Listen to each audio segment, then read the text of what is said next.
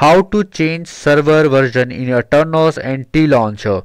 So now I am on my Aternos account. I'm logged in. Uh, as you can see logout option is showing.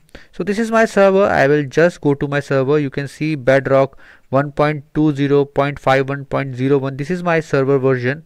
So now i am in my server. So i will scroll down and you can see this version is showing here. I need to click on this option in front of my server version. Just tap on this. So herein I will get all these versions. So I can select any one of them.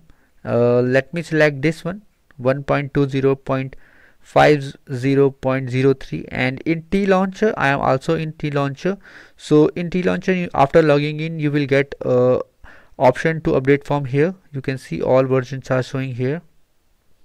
So you can change it from here as well and here as well so I will go for the latest one. So make sure to look for the latest one for the better uh, services and you can simply select any one of them. You can go for the latest one.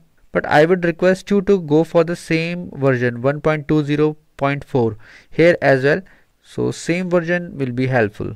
So you can look for this one 1.20.4 and the same version here. So it is better to go for the same version in both the places so you need to click on install to do it. And you now it is installed. So i hope friends now you will be able to change the version of your server in Aternos and TLauncher so it is also easy in TLauncher from here after logging in you will get uh, you need to log in from here. So after that you will get it uh, the version from here. So i hope friends now you will be able to do it on the both the platforms. And if you still face any problem you can comment below and i will definitely give you reply.